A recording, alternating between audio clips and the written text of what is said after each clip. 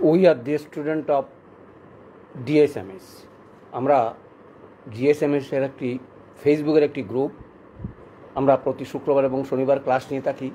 আজকেও আমাদের শিডিউল মতে চতুর্থ বর্ষের জন্য ক্লাস এবং আমার মায়াজম পড়া শেষ হলো, ওষুধ নিয়ে আলোচনা, রোগ নিয়ে আলোচনা এবং আমি আজ পর্যন্ত চারটা রোগ নিয়ে আলোচনা করেছি। আজকে আমি শিশু রোগ নিয়ে আলোচনা করব।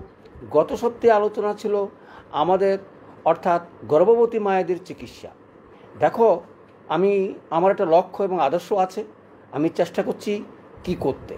তবে আজকে আলোচনার বিষয় হচ্ছে, অর্থাৎ শিশু রোগ চিকিৎসা। এখন এটা আলোচনা করতে গিয়ে আমি খুব বিপদে পড়ছি। গত বছর আমি একটি প্রথম বর্ষের জন্য শিশু রোগ আলোচনা করেছিলাম। তোমরা সেটা দেখার চেষ্টা করবে। তারপর থেকেই আমি আলোচনা করার চেষ্টা করব। অর্থাৎ সেটা না দেখলে দেখে থাকবে অথবা সংগ্রহ করে দেখার চেষ্টা করবে। তাহলে আসি, আজকে আমাদের আলোচনার বিষয় হচ্ছে শিশু রোগ অর্থাৎ জন্ম থেকেই আমরা শুরু করব। সেই সুবাদে আজকে আলোচনা।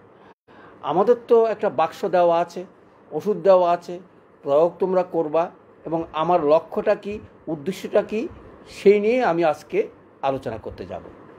তাহলে আসি, আজকে প্রথম আমাদের বিষয় হচ্ছে শিশু রোগ নিয়ে আলোচনা। আমি আমি আলোচনা করতে গিয়ে শিশু কাকে বলে, সেটা নিয়ে আমি একটু বিভ্রান্ত হয়ে গেলাম। অর্থাৎ আমাদের যারা যারা জন্ম থেকে কত বছর পর্যন্ত শিশু বলা হয়।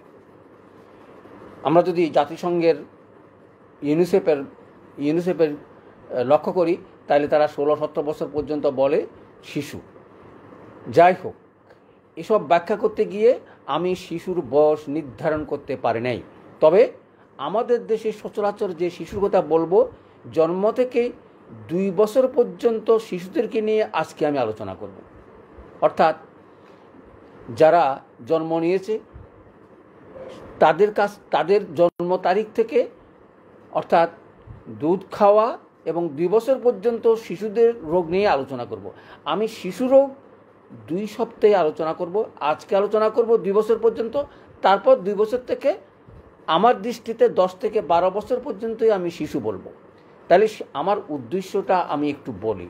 শিশু রোগ এই যে শিশু রোগের কথা তোমরা সেটা শুনবে, জানবে, দেখবে, যেটা আমি এক বছর আগে দিয়েছিলাম। খুব সুন্দরভাবে সেখানে বিস্তারিতভাবে বলা আছে। আজকে আর সেদিকে যাব না। আজকে যাব আমাদের লক্ষ্যটা কি? আমাদের লক্ষ্য হচ্ছে শিশু যেন মৃত্যু না যায় এবং শিশুকাল থেকেই আমরা ম্যাজমেটিক চিকিৎসা যেন করে আমরা সুস্বাস্থ্য অধিকারী হতে পারে এবং দীর্ঘায়ু হতে পারে, সেই চেষ্টায় আমাদের লক্ষ্য। শিশু রোগ নিয়ে সেই দিন আলোচনা করেছি। আজকেও আমি একটু আলোচনা করব, কিন্তু আমি রোগ নিয়ে বেশি আলোচনা করব না। আমরা মায়াজম ভিত্তিক চিকিৎসা পদ্ধতিরই কথা বলব। রোগ তো আছে, ওষুধও আছে, ওষুধ দিবা। তাহলে শিশু জন্ম থেকে যদি আমরা মায়াজমের কথা চিন্তা করে তাদের লক্ষণ পাই, সেই চিকিৎসাটা আগে করতে হবে। এটা আমাদেরকে মাথায় রাখতে হবে। আমরা চাই প্রত্যেকটা শিশু যেন নিরোগ হয় এবং ভবিষ্যতে যেন কোনো রোগে না ভোগে, সেইটার জন্যই গত সপ্তাহে যখন গর্ভকালীন চিকিৎসার কথা বলছিলাম, সেখানে আমি বলছিলাম এখনও আমি বলব, আমরা শিশুকে কি করে ভালো রাখতে পারি? তাহলে জন্মের পর থেকে রোগ হইতেই পারে চিকিৎসা হইতে পারে, সেগুলো তোমরা ওই আলোচনাটা দেখে নেবে। আমি বলছি, কীভাবে তাকে আমরা মায়াজমেটিক মুক্ত করতে পারি? সেই সুবাদে বলছি তোমরা যদি কোনো শিশু জন্ম, জন্মগ্রহণের চিকিৎসা তোমার হাতে নাও, তুমি চেষ্টা করবে সুযোগ পাইলেই সালফারটা প্রয়োগ করার। এম ওয়ান এম টু তিন মাসে তিনবার যদি খাওয়াতে পারো, তাহলে মনে রাখবা, আর তোমাদের যেই চিকিৎসা তোমাদেরকে পড়ানো হচ্ছে, সেই চিকিৎসা লক্ষণমাত্রিক দিলেই, লক্ষণমাফিক দিলেই তোমরা সাকসেসফুল হতে পারবে। তাহলে আসি, শিশু রোগ সেখানে অনেক কিছু আলোচনা করেছিলাম। সেই আলোচনার পরিপ্রেক্ষিতে আমরা অনেকগুলো রোগের নাম বলছিলাম। সচরাচর আমাদের থেকে রোগ রোগ নিয়ে চিকিৎসা হয় না। আমাদের চিকিৎসা হয় লক্ষণ নিয়ে। তাইলে তোমরা প্রথমেই চেষ্টা করবে, বাচ্চা যেটাই আসুক, আমি তার কি লক্ষণ পাই? আর কি লক্ষ্য আর কি লক্ষ্য হচ্ছে, আমরা যেন এই শিশুকে, আমরা যদি আমাদের কাছে আসলেই আমরা যেন ভবিষ্যতে মায়াজমেটিক চিকিৎসা দিয়ে তার যেন কোনো রোগ না আসে, সেই চেষ্টা করা। দেখো, এলোপ্যাথিতে টিকা আছে ইঞ্জেকশন আছে, অনেক কিছু দেওয়া হয়। আমাদের তো কিছু নাই, কিন্তু আমাদের যেগুলো আছে, আমরা জানি না, ব্যবহার করতে জানি না, এবং আমাদেরকে কেউ বিশ্বাস করে না। অর্থাৎ আমরা খাওয়ালেও সেই টিকা দিবে। সুতরাং টিকা বাধা দেওয়ার ক্ষমতা আমাদের নাই। আমরা সেদিকে চেষ্টাও করব না, যাবও না। তবে আমাদের সান্ত্বনা, আমাদের বিশ্বাস, আমরা যারা চিকিৎসা জানি, অর্থাৎ অর্গনন অর্গননের মতো আমরা যারা চিকিৎসা করি, তারা অনেক খবর আমরা রাখি, এবং আমাদের সুস্বাস্থ্য নয় খালি। আমরা অনেক অনেক ঘটনা আমার হাতে ঘটেছে, যেগুলো মায়াজমেটিক ট্রিটমেন্ট করে আমরা করেছি। তাহলে চলে আসি, আমি সেখানে তাহলে শিশু রোগ জন্ম থেকে যে ম্যানেজমেন্টগুলো আছে, যেমন বাচ্চা হওয়ার নাড়ি কাটা, নিঃশ্বাস বন্ধ হয়ে গেলে কী করা, আমি গত এক বছর আগে প্রথম বর্ষে যখন পড়িয়েছিলাম, সব বিষয় আলোচনা করেছি। আজকে আমরা কি আলোচনা করব? মায়াজমেটিক ভিত্তিক চিকিৎসা। অর্থাৎ জন্ম থেকে আমরা লক্ষ্য করব এই বাচ্চাটা কোন মায়াজমের পরে? দেখো, আমি যখন মায়াজম পড়াতে গেছিলাম, তখন আমি অনেক কথা বলছিলাম। যেমন জন্ম থেকে কারও দাঁত থাকে, তারপরে কি বলছিলাম? নাক স্যাপটা হতে পারে। তারপর কি বলছিলাম? নাক স্যাপটা হতে পারে, ঠোঁট কাটা হতে পারে, পা বাঁকা হতে পারে, আর সিপিটি যেটা আমরা বলি অটিজম। অটিজমের বাচ্চা হতে পারে। এই ধরনের বাচ্চার চিকিৎসার জন্যেই আমার চেষ্টা। আমার লক্ষ্য। আমি গতানুগতিক চিকিৎসা সেই ফার্স্ট ইয়ারে বলেছি। তোমাদেরকে বলব না। তোমরা মায়াজম পড়েছ, সেই ফার্স্ট ইয়ারের লিকচারটা শুনবে আর মায়াজম ভিত্তিক রুগী পাইলে রুগীর চেষ্টা করবে সেবা সেবা দিতে। অর্থাৎ জন্মের পরেই যেন কোনো রকমের রোগ না থাকে এবং সেই সময় চিকিৎসার উৎকৃষ্ট সময়, অর্থাৎ প্রথম বছর প্রথম জন্ম থেকে দুই বছর পর্যন্ত তোমার এই অটিজম, তোতলামি অথবা কথা না বলা, এই ধরনের রোগ, সর্বরোগের চিকিৎসা ম্যাজমেটিকে তোমরা করতে পারবে। সেই জন্যেই আমার এই আলোচনা, সেই জন্যই আমার এই লক্ষ্য। আমরা যেন ডাক্তার শিখে, ডাক্তারি করে আমরা যেন এই এই অটিজম অথবা মায়াজম ভিত্তিক যে রোগগুলো আছে, সেগুলো আমরা চিকিৎসা করতে পারি। দেখো, আমি প্রথমে বললাম, ঠোঁট কাটা রুগী দেখলে তোমরা কি বুঝবা? নিশ্চয়ই তোমরা জানো ঠোঁট কাটা রুগী মানেই হচ্ছে সিভিলিটিক মায়াজম। অর্থাৎ মা বাবার সিভিলিটিক ছিল সেই সুবাদেই তারও এটা দোষ আছে। আর এলোপ্যাথিকরা কী করবে? ঠোঁট কেটে এটাকে অপারেশন করে ঠিক করে দেবে। আমরা কিন্তু সেদিকে যাব না। আমরা যদি ঠোঁট কাটার রুগী পাও, চিকিৎসা করো, তুমি, আমি বলব জন্ম থেকে যদি চিকিৎসা করো, ছ মাস, এক বছর পর অটোমেটিক্যালি যদি সিস্টেমেটিক্যালি চিকিৎসা করতে পারো, তাহলে ভালো হয়ে যাবে। অর্থাৎ আমি কি মায়াজম তুললাম অর্থাৎ সিবিলিটিক মায়াজম। সিবিলিটিক মায়াজম কেন আসছে সেটা তোমরা বিস্তারিতভাবে জানো। অর্থাৎ এরকম শিশু দেখলে, দেখো, জন্ম থেকে তুমি যদি লক্ষ্য করো দুই বছর পর্যন্ত, তাহলে এই কঠিন কঠিন রোগ যেগুলো সচরাচর এলোপ্যাথিকের চিকিৎসায় অপারেশন ছাড়া হয় না, সেই ধরনের চিকিৎসা আমরা যেন করতে পারি। তা না হলে এই ডাক্তারি শিখে, এই সর্দি, কাশি, জ্বর এই এসব চিকিৎসা করে তো আমাদের, আমার লক্ষ্য না। আমার লক্ষণ হচ্ছে, লক্ষ্য হচ্ছে কঠিন রোগের চিকিৎসা করা, যেগুলো অপারেশনযোগ্য এবং যেগুলো ভালো হয় না। আমার হাতে যদি ভালো হইতে পারে, তোমার হাতেও ভালো হবে। সেই সুবাদেই আজকে আমার আলোচনা আলোচনা হচ্ছে, অর্থাৎ জন্ম থেকে দুই বছর পর্যন্ত। কী কী ট্রাভেলস হলে, কী কীভাবে আমরা এগুলো চিকিৎসা করতে পারি? দেখো, সচরাচর শিশুদের খুব একটা রোগ হয় না, আর রোগ হলে সিম্পল ওষুধ দিলেই ভালো হয়ে যায়। এটা তোমরা নিশ্চিত থাকো। অর্থাৎ আমি এবার আসি যে এই ছ মাস পর্যন্ত আমরা কীভাবে ওষুধগুলো প্রয়োগ করতে পারি? আমি সেই সেদিনও বলছিলাম, অর্থাৎ মায়াজমেটিক ট্রিটমেন্ট বলো, আর আর একুয়েট রোগ বলো, অর্থাৎ অচির রোগ বলো, সবগুলো সিস্টেম একই রকম। মাকে আমরা ওষুধ দিতে হবে। বাচ্চাকে এক ফোঁটা বেশি বা দুই ফোঁটার বেশি দেওয়া যাবে না। অর্থাৎ এক দাগের ওষুধ থেকে মা খাবে, বাকি দুই ফোঁটা খাবে। আর যদি মার আর বাচ্চার যদি দুধ খাওয়া পর্যন্ত আলাদা ওষুধ আসে, তাহলে খালি বাচ্চাকে এক দাগ ওষুধ নিয়ে দুই তিন ফোঁটা, অর্থাৎ ছ মাস পর্যন্ত কোনো রকমেই পাঁচ ফোঁটার বেশি ওষুধ দিবে না। এক মাসে এক ফোঁটা, দুই মাসে দুই ফোঁটা হিসাব করে পাঁচ মাস পর্যন্ত তুমি পাঁচ ফোঁটার বেশি ওষুধ প্রয়োগ করবে না। আমাদের এম ওয়ান এম টু বা এতেই তুমি বুঝতে পারবে তোমার ওষুধ ঠিক হলো কি না অথবা ম্যাজ ট্রিটমেন্টে তুমি কতটুকু এগিয়ে যাবে, সেই, এই লক্ষণগুলো যদি রুগীদৃষ্টে পাও, তাহলে তোমরা অনায়াসে প্রয়োগ করতে পারবে। যেমন আমি টিউবারকুলোসিস বডি বলছিলাম, বুকটা যদি কবুতরের মতন বুক হয়, সেরকম বুক যদি কোনো রুগী পাও তাহলে আমরা কি করব? আমরা সেই টিউবারকুলিনাম মায়াদমের ওষুধগুলো দিতে চেষ্টা করব। অর্থাৎ এক ফোঁটা কি দুই ফোঁটা করে এমন থেকে শুরু করব। দেখবা সপ্তাহে এক, দিনে একবার অথবা সপ্তাহে একদিন পর পর। আমার মনে হয় দিনে একবার দেওয়াই ভালো। যদি তারপরে যদি কোনো লক্ষণ বেরিয়ে আসে তাহলে অত একদিন পর পর দিতে পারো। সেটা অবজারভেশন তোমাদের উপর নির্ভর করবে। এই সকল জটিল রোগের চিকিৎসা চিন্তা করি, পড়ালেখা করবে এবং সেভাবে প্রয়োগ করবে। কারণ তোমাদের হাতে আমি বাক্স তুলে দিয়েছি, সব ওষুধে তোমাদের কাছে আছে। তাহলে জটিল রোগের জন্যই আমাদের জটিল আলোচনা। এবং সেই সুবাদে কী কী রোগ হতে পারে? দেখো, জন্মের পর থেকে অনেকগুলো রোগ নিয়ে আলোচনা হয়েছে। যেমন মৃতবর্ষ, সেটা গতবার আমি আলোচনা করেছি। এবার আমি একটু বলে যাই। যারা নীল, অর্থাৎ হার্ট প্রবলেম নিয়ে জন্মগ্রহণ করে, তারাও সিবিলিটিক মায়াজম। সেখানে আমরা আর্সেনিক দিয়ে শুরু করতে পারি। অথবা সিভিলিনাম আসবে কি আসবে না, সেটা আরও কিছু লক্ষণ খোঁজ করে আমরা প্রয়োগ করতে পারি। তারপর কি হতে পারে? মাথা বড় হতে পারে। অর্থাৎ জন্ম থেকে মাথার টিউমার থাকতে পারে। সেখানে কি কারণটা বের করতে হবে? না বের করলে আমরা ওষুধ প্রয়োগ করতে পারব না। প্রথমে আসি, যদি সিজারিয়ান বেবি হয়, তাহলে কি অবস্থা? কেন সিজার হলো? দেখো, এগুলো তোমাদেরকে জানতে হবে। সিজার বেবি আর সিজার বেবি মানেই সিভিলিটিক মায়াজম। তবে সেটা কোথায় হয়েছে? যদি মেডিকেল কলেজে হয়, সেটা সিভিলিটিক মায়াজম। আর যদি প্রাইভেটে হয়, তাদের টাকার জন্য এটা করে ফেলছে। তাদের কোনো অবজারভেশন অথবা ধৈর্য রেখে ডেলিভারি করানোর তাদের ইচ্ছা নাই। সুতরাং মেডিকেলে যদি হয়ে থাকে, অর্থাৎ সরকারি হসপিটালে যদি কোনো শিশু জন্ম নেয়, এই সিজেরিয়ান বেবি তাকে তুমি ধরেই নেবে, তার কোনো ট্রাভেলস আছে এবং সেটা সিবিলিটিক মায়াজন আচ্ছা তারপরে আসি মৃতবর্ষ মৃতবর্ষ অর্থাৎ জন্মকালীন কোনো বাচ্চা যদি মৃত মৃত হয় নিঃশ্বাস প্রশ্বাস না কান্না করে, না কান্না করে, অর্থাৎ কোনো কোনো নিতে পারে না, তখন চট করি তাকে আমরা যেটা নাড়ি কাটবে না, এটা মনে রাখবে।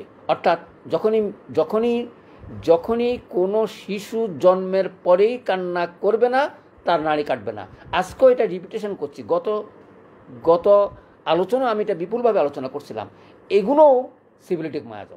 কারণ তার মৃত্যুটাই হচ্ছে অর্থাৎ নিঃশ্বাস না নিতে পারা, সেটা ম্যানেজমেন্ট করি সেটা আমাদেরকে ব্যবস্থা করতে হবে। সেটা যদি জানো, তোমরাও সেটা প্রয়োগ করতে পারবে। সেখানে আমি আলোচনা করছিলাম। আজকে একটু আলোচনা করে যাই, তাহলে আমরা বুঝতে পারব এটাও সিভিলিটিক মায়াজম।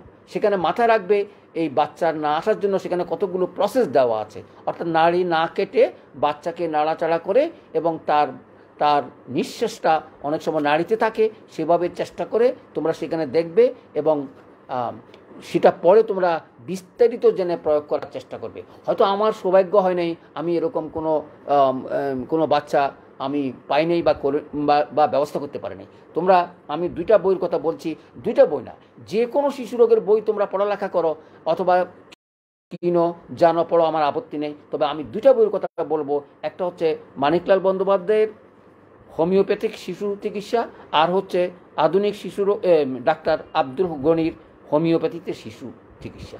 এই বই যাই থাকুক, একই রকম বই, আর সব বইতে একটা কথা তিরিশ, দুইশো আর উপরে যা। আমরা সেটা পরিত্যাগ করো। পরিত্যাগ করে আমাদের কি? আমাদের একটা কথাই আছে এম ওয়ান থেকে শুরু এম টু এম থ্রি না ভালো হলে আমরা আর ওইদিকে আগাবো না, আমার সিলেকশান রং এই যে সিদ্ধান্ত এটা একদিনে আমি নিতে পারি নাই। আমি বিশ বছর চেষ্টা করে এই সিদ্ধান্ত নিয়েছি, এক, দুই, তিনে যদি আমি না পারি, তাহলে আর আমার ওইদিকে যাওয়া ঠিক হবে না। আমাকে প্রথম বোতলে লক্ষ্য করতে হবে যে তার কী রকম পরিবর্তন অথবা পরিবর্তন আছে। গতকালও আমি একটা কথা বলছিলাম, দেখো, ওষুধ সিলেকশন যদি খুব রাইট হয়ে যায়, তাহলে অনেক সময় অনেক সময় বৃদ্ধি হইতে পারে। এটা ওষুধের বৃদ্ধি বলা হয়, সেগুলোও তোমরা পড়ালেখা করে জানার চেষ্টা করবে। আমি ম্যাজাম পড়াতে বলছিলাম, কারণ অনেক সময় যদি সিলেকশনটা রাইট হয়, বাড়তে পারে। সেই দিকে লক্ষ্য রেখে ওষুধগুলো প্রয়োগ চেষ্টা করবে। তবে সব ওষুধে অনেক সময় বাড়ে না। সালফার অথবা সিফিলিনাম হিপাসাল কতগুলো ওষুধ আছে? ফসফরাস, সাইলিশিয়া, এগুলোর বৃদ্ধিটা খুবই বেশি। সেগুলো প্রয়োগ করার সময় খুব চিন্তাভাবনা করে করবে। আর সাপের বিষ, যেটা নিয়ে সচরাচর মানুষ মানুষ অনেক ব্যবহার বেশি করে ল্যাকোসিস। এটা থেকেও দূরে থাকার চেষ্টা করবে। প্রয়োগ করবে না এমন কথা বলব না। সুনির্দিষ্ট লক্ষণ ছাড়া প্রয়োগ করতে যেও না। তাহলে তার ক্ষতি করবে। তুমিও নিজে ডাক্তারি শিখতে পারবে না। ওষুধগুলো ধীরে ধীরে প্রয়োগ করার চেষ্টা করবে। আমি চলে আসি। এই যে বললাম, অর্থাৎ নাড়ি কাটা, অর্থাৎ মৃত বর্ষ যদি হয়, সে বর্ষাকে চট করি নাড়ি না কেটে তুমি চিকিৎসা দেওয়ার চেষ্টা করবে ম্যানেজমেন্ট বইগুলিতে আছে সেভাবে তোমরা চেষ্টা করবে। আমাদের ওষুধও পরবর্তীতে আমরা দেওয়ার চেষ্টা করব। আমরা বুঝে নিলাম এটা সিফিলিটিকের রোগী। তাহলে, তাইলে টিউবারক্লোসিস রোগী কীভাবে বুঝলাম? টিউবারক্লোসিস রোগী বুঝলাম যে যে ওই যে বুক, বুকের কথা বললাম, অর্থাৎ বুকটা যদি তার কবুতরের বাচ্চার মতন হয়, তাহলে সেটা টিউবারক্লোসিস বডি। আর স্যাকোটিক বডি কীভাবে বুঝব? যদি, দেখো যদি কোনো টিউমার অথবা যদি কোনো কিছু তার ফুলা থাকে, আমরা অত ধরে নেব সেটা সেটা সাইকোটিক প্রশ্ন আসছে যে ডেলিভারির সময় কি কি গণ্ডগোল হতে পারে? কি কি গণ্ডগোল হইলে, দেখো, এখন তুমি জিজ্ঞেস করতে হবে, এটা কি ফোর্সেপের রুগী? অর্থাৎ যদি হওয়ার সময় ফোর্সেপ রুগী নিয়ে বাচ্চা বের করা হয় অথবা সেলাই করা হয়, তাহলে তাদের উপরে আমাকে ওষুধ দিতে হবে। অর্থাৎ বাচ্চা যদি ফোর্সেপ হয়, অনেক সময় মাথায় আঘাত লাগে, মাথাতে টিউমার মতন হয়, সেখানে আমরা আর্নিকা অথবা লক্ষণ মতে আমরা কেস টেকিং নিয়ে যেটা আসে, সেই ওষুধেই প্রয়োগ করার চেষ্টা করবে। আমাদের কাছে মুখস্থ কোনো বিদ্যা নেই। আমাদের লক্ষণ আর ওষুধ আর মায়াজমেটিক ট্রিটমেন্ট আর এই, আমি মনে হয় আমাদের আর ল্যাবরেটরি রেফার্টরির প্রয়োজন অনেক কমে চলে আসছে। কারণ সেখানে অনেক কিছু জানতে হয়। এত কিছু জেনে আমরা চিকিৎসা আগাতে পারব না। যারা বেশি পড়ালেখা করবে, যারা বেশি জানবে, তাদের কথা আলাদা। তুমি যখন কোনো জিনিস নিয়ে আলোচনা, সমালোচনা করতে যাবে, তখন তোমাকে বিস্তারিত পড়তে হবে। আমরা বাবু ছোট্ট ডাক্তার আমরা আমাদের লক্ষণ মতো ওষুধ দিয়ে আমরা মানুষের সেবা করতে চাই। আমাদের জন্ম যেন, আমাদের শিশুরা যেন জন্মগত কোনো ত্রুটি নিয়ে জন্মগ্রহণ না করে।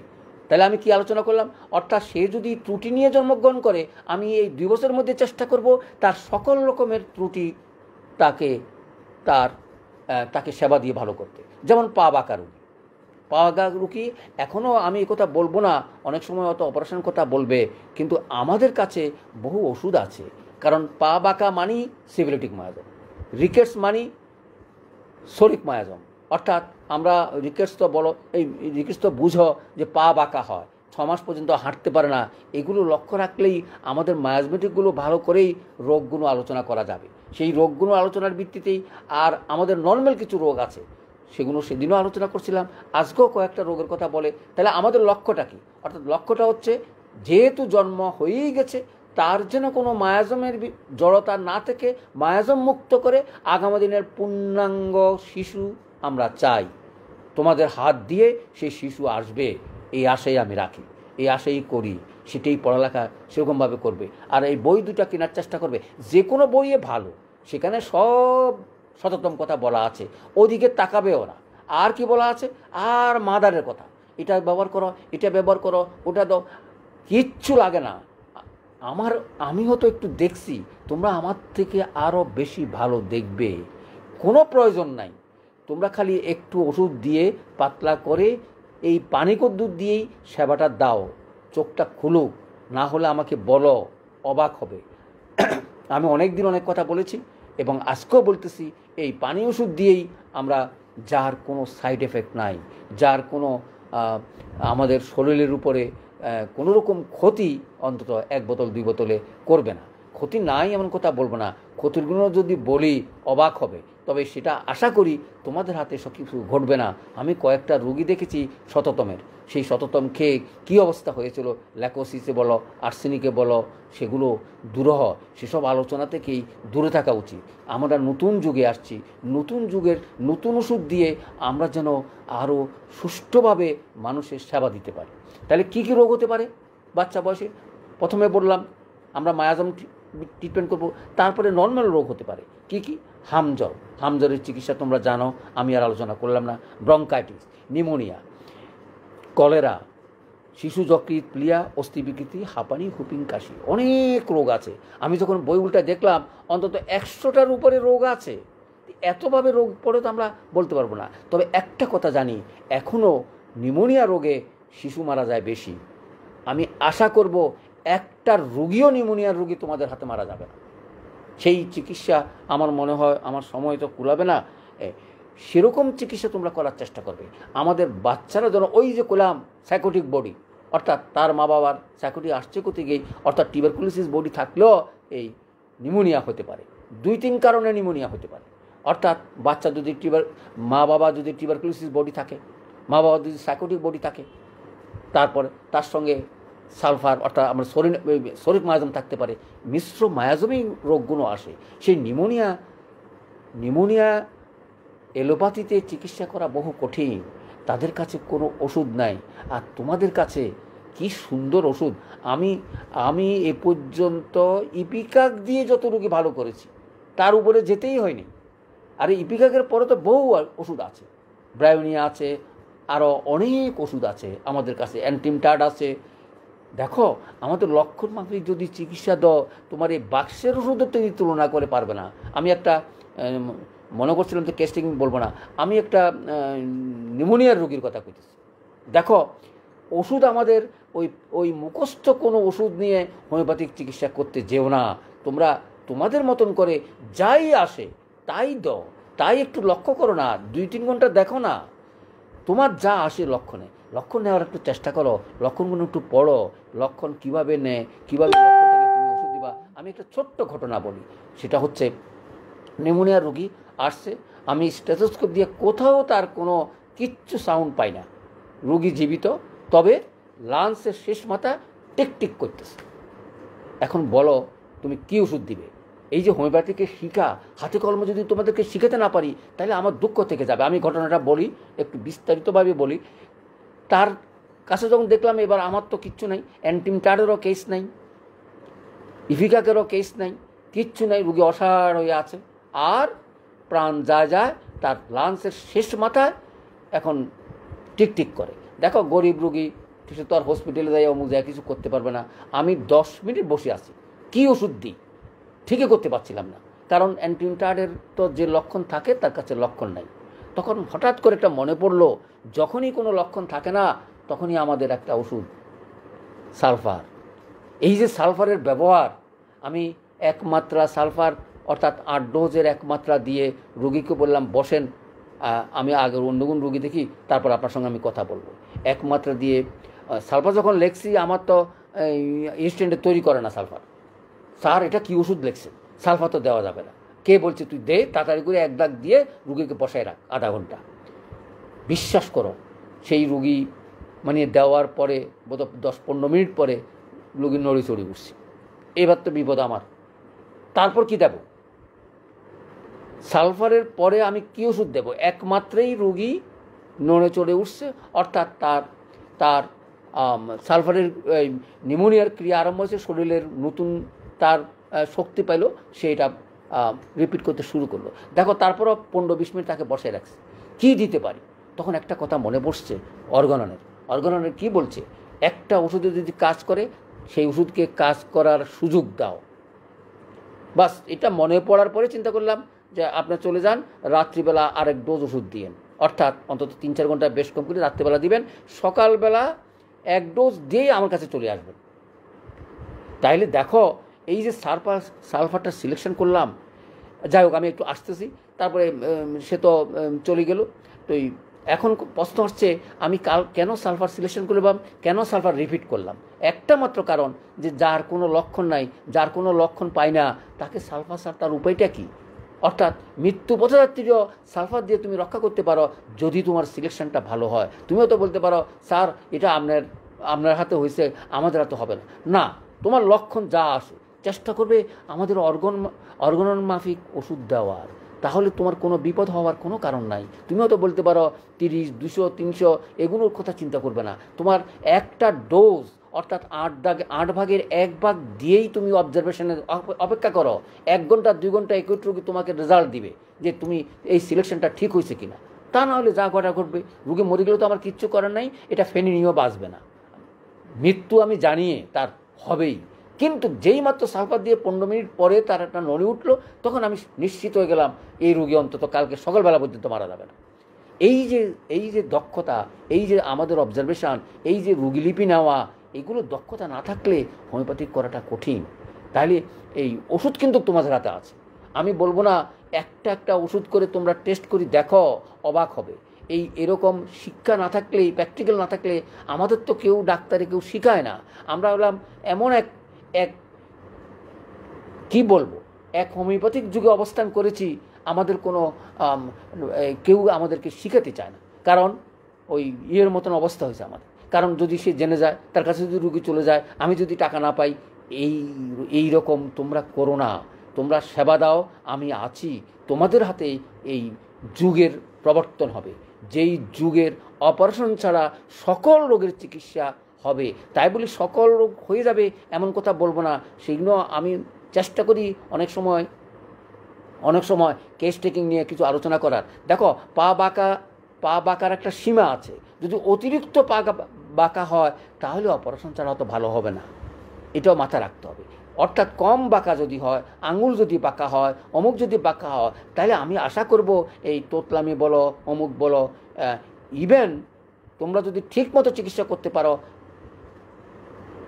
অর্থাৎ আমাদের আলাজিব্বা নাই, বাচ্চার যদি বুঝতে পারো, তুমি যদি সিপিলিটিক দাও আলোজিব্য হয়ে যাবে।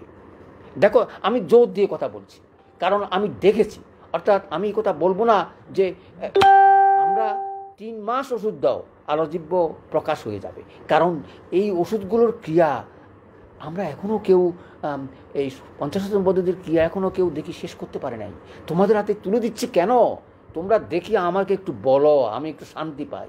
যে কি জিনিস? এক এক লোকে বলে যে কী জিনিস শিখালেন। আরে সেগুলো তো এই শ্বাসকষ্ট মাস্কটের রুগী। আর যেসব রুগী অঙ্গহানির রুগী, এই দু মাস, দুই বছরের ভিতরে তোমরা যদি তোমরা যদি পাও অঙ্গহানির রুগীও চিকিৎসা করতে পারবে। তার কারণ শরীর তখন তৈরি হয়। যদি পনেরো বছরে যদি বালক, বালিকা হয়ে যায়, বালিকা বালক হয়ে যায় আমাদের দুই বছরে কেন পরিবর্তন হবে না?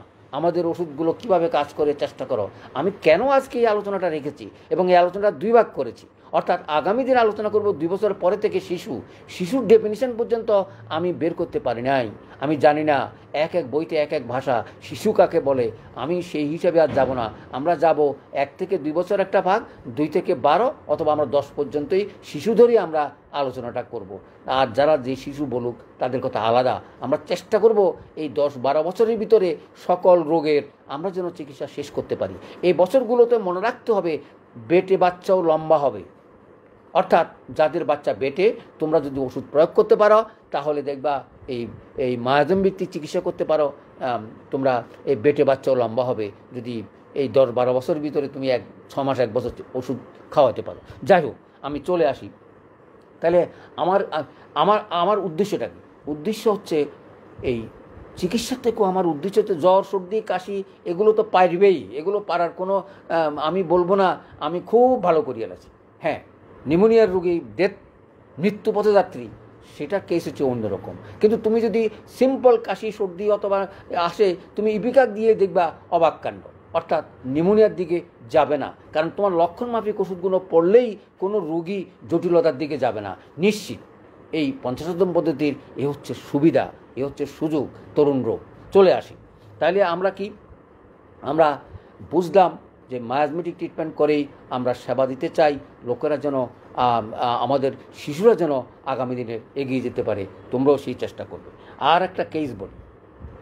একটা কেস ওই দিন বলছিলাম, আর আর একটা কেস হচ্ছে জন্ম হওয়া শিশুর ঠোঁটে একটা টিউমার। টিউমার বলব না মাংস বৃদ্ধি দিস ইজ মাংস বৃদ্ধি সিবিলিটিক মায়াজম। চিন্তা করলাম মার্কসোল ছাড়া হবে না। তারা বলছে অপারেশন করা ছাড়া এটা ভালো হবে না। এটা ঠোঁটের উপরে অনেকটু মাংস, অনেক, একটু বড়ই মাংস। তো আমরা বললাম, এই এই এই আট দিনের, ছ দিনের, পাঁচ দিনের বাচ্চা কি অপারেশন আমরা একটু দেখি। করলে যে ডাক্তার সাহেব বলছে, আগামী সপ্তাহে অপারেশন করবে। আগে যথেষ্ট, আগামী সপ্তাহে অপারেশন করবে, আমরা ওষুধ আনি, ওষুধ খান। কী করলাম? মার্কসল দিলাম। কারণ সিভিলিটিক মায়াজম, ধরিয়ে তোমরা ওই যে সিভিলিনাম অমুক যেও না। তোমাদের মার্কস হলো সুন্দর মেডিসিন আমি বলব, আমার হাতে কি পরিমাণ, আমি এত কিছু বললে তো তোমরা বলবে যে, স্যার, আপনারা তো, তোমরা চট করে হাই হাই ডোজে যাইও না। সিম্পল থেকে শুরু করো। মার্কসল ফেল হলে না যাব। মার্কসল দিলাম, সাত দিনের সেটা চলে গেল। এই যে অবস্থা, এটা তোমাদেরকে বুঝতে হবে। মায়াজমেটিক ট্রিটমেন্টগুলো ঠিকমতো করতে পারলে দুই বোতলে টের পাবে, এই ওষুধ তার। অর্থাৎ এই ওষুধটা হাই টু হাই গো পাওয়ারে যাবে, যতক্ষণ পর্যন্ত সে ভালো না হয়। কিন্তু তোমাকে এক বোতল কি দুই বোতলে তোমাকে নির্দেশ করে দিবে, ওষুধ রাইট কি আর রং যদি তোমার অবজারভেশন করার, যদি তোমার একটু দক্ষতা থাকে, যদি তোমার একটু রুগী দেখার জন্য মনে প্রাণে দিয়ে চেষ্টা করো, আর কিচ্ছু লাগবে না। তাহলে আমরা আলোচনা শেষ করি। আমাদের লক্ষ্য একটাই, অর্থাৎ আমরা যেন অটিজম আর অপারেশনযোগ্য আর এই যে হার্টের রোগের কথা বললাম, শিশুদের যত রকমের রোগে আছে আমাদের মায়াজমেটিক ট্রিটমেন্টটার দিকে তোমরা লক্ষ্য রাখবে। রোগ ভিত্তিক চিকিৎসা আমরা করব না। এখানে দেখো কত রোগের কথা বলা বলা আছে। এই এই নাভি রোগ, অমুক রোগ, সব কিছুরই এই আমার টুকটাক বাক্সের ভিতর ওষুধ দিয়েই সারাতে পারবে। তাহলে আজকের আলোচনা শেষ করি, শেষ কর- শেষ করতে যাচ্ছি। আগামী দিনও আমরা শিশু রোগ দুই বছরের পরে থেকে বারো বছর বা দশ বছর পর্যন্ত কি কি রোগ হতে পারে, কি কি মায়াজমেটিং ট্রিটমেন্ট আমরা করতে পারি, কি কি অপারেশনযোগ্য রোগগুলোকে আমরা ভালো করতে পারি সেই নিয়ে আলোচনা করব।